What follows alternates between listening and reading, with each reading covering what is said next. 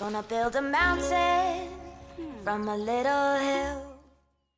Hey guys, and thank you so much for tuning into my channel. My name is The Lady Designer, and we are back with another speed build video of Meilin Zoo. This is our sandbox park. But before we jump into this, I really would like to ask you guys the following. I want you guys to decide what other new animal we will add in Meilin Zoo in the areas we have left for Meilin Zoo to finish up. So I have a few animals to choose from. One is the African wild dog, or we can have a habitat with the African buffalo, including either springbok or Thompson gazelle.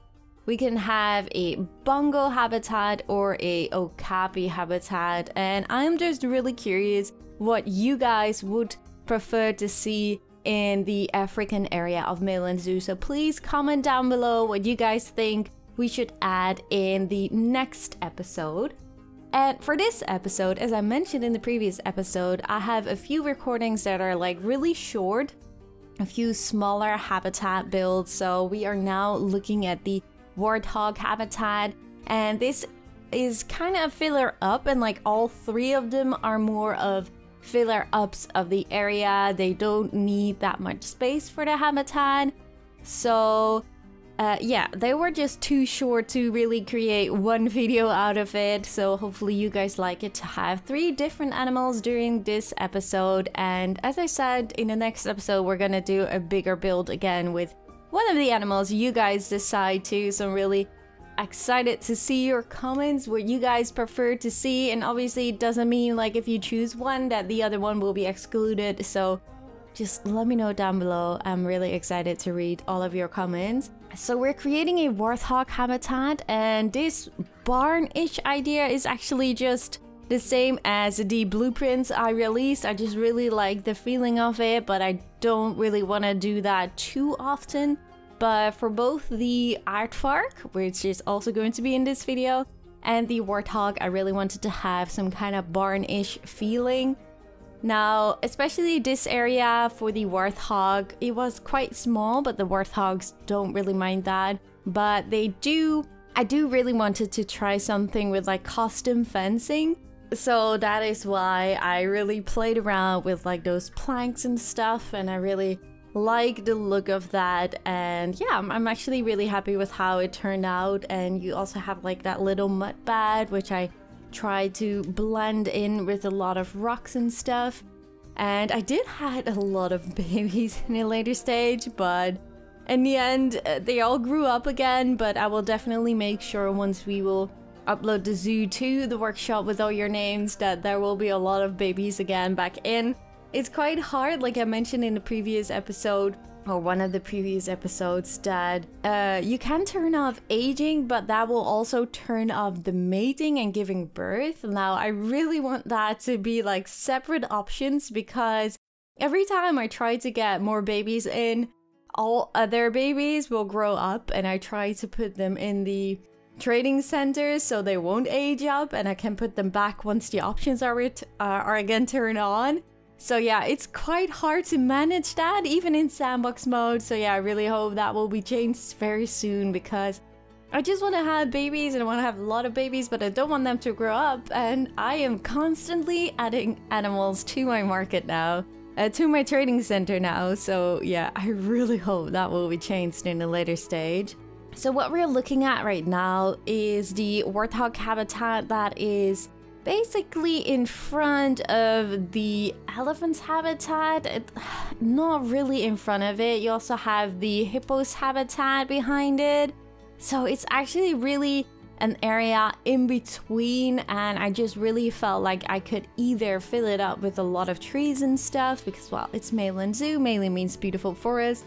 But I was like you know what? We can have trees but I really want to add something small that the people will walk by, like an animal that is not super popular, but still there are some people that will just stand around it and enjoy it. Like if you would add a really too popular animal in here, I don't think that will work because then you will get like a lot of bottlenecks and stuff, at least for like the realistic propose. So I thought a warthog was definitely the best animal to go for in this case.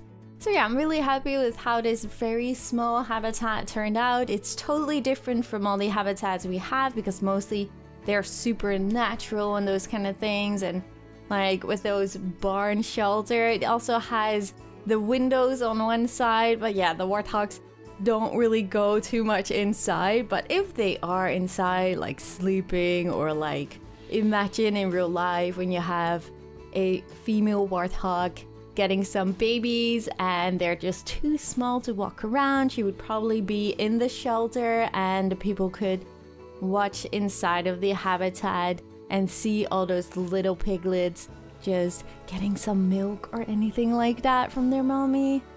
So yeah, you get the idea, I guess. So the next habitat we're going to create is for the Aldabra Giant Tortoise and this one is located at the other side of the entrance exit, whatever you want to call it, from the hippos and the pygmy hippos and like the indoor area. So this is basically when you walk through that building and then you would end up at some kind of small little roundabout and there was like a little space on the left side that I really wanted to add some smaller animal to. So I decided to go for the tortoise because I really love the tortoise. They're really amazing and they have a really high uh, appealing rate so a lot of people really like them, although not that many people like them in Planet Zoo or like the videos. The people that watch videos, they're not really interested in it. But I just really wanted to add the tortoise in this smaller build because I just really like them. It's a very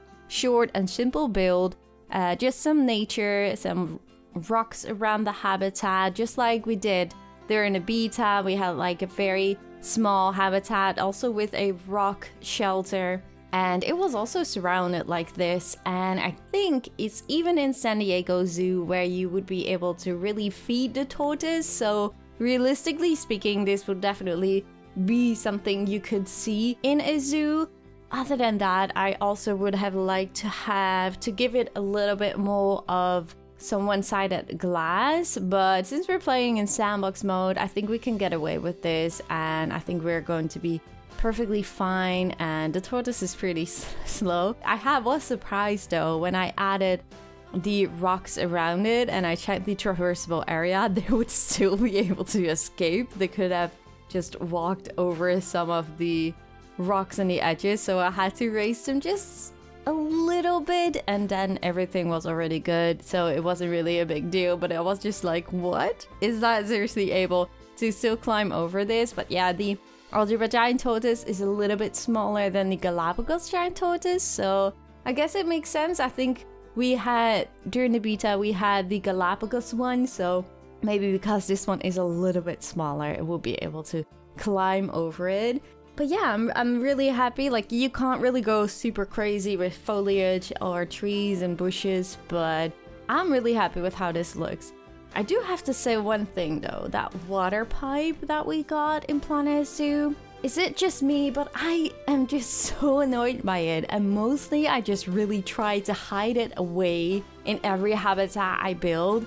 I don't know, it just feels so unnatural to me and I try to recolor it but only like the pipe itself is getting recolored but like underneath it when the animals drink it stays the same. I don't know it's just something i really would like to see something different in planet zoo because i also don't really want to have a water boil because that one needs to be filled by uh, by the staff members. So yeah, the pipe makes more sense if you want to have just infinite water. But I don't know. Am I the only one that is just really getting frustrated about the look of that water pump? I don't know. I'm really curious if I'm the only one or that you guys feel the frustration. I maybe you have noticed it, but like in a lot of different habitats I've built so far, I always try to hide it away. I just don't want people to see it and if I am able to really add some normal water, like I could have done that maybe with a tortoise, but that would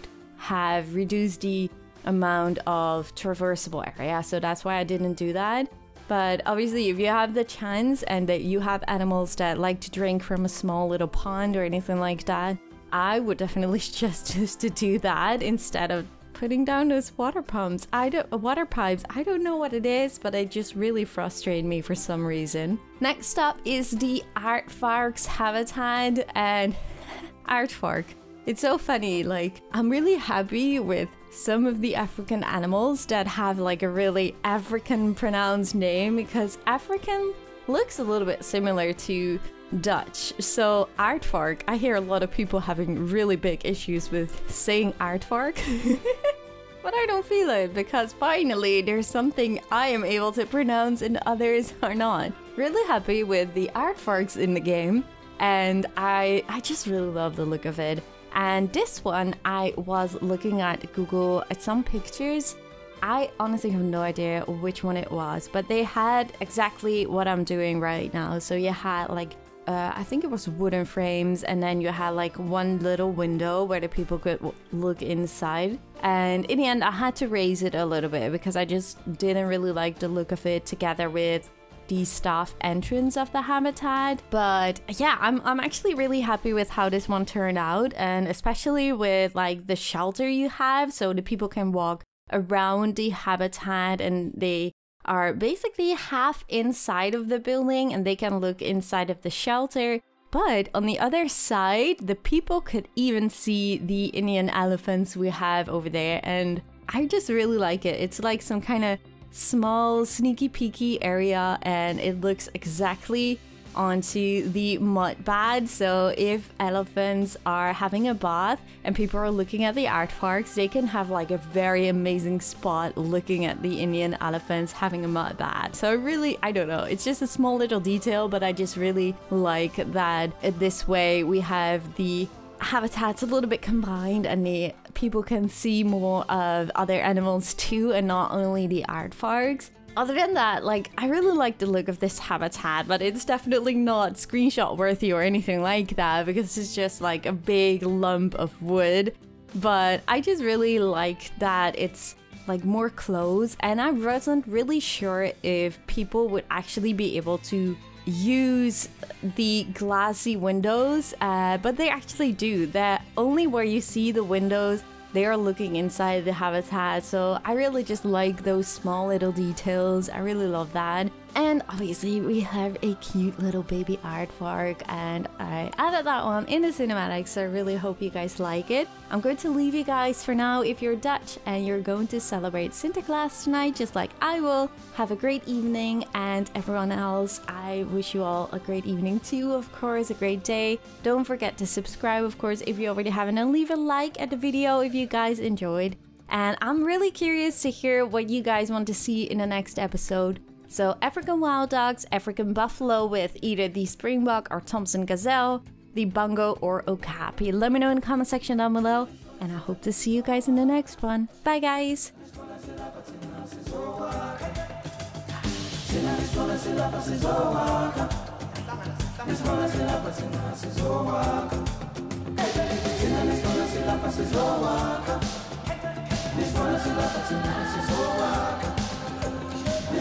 Love, but it's not, it's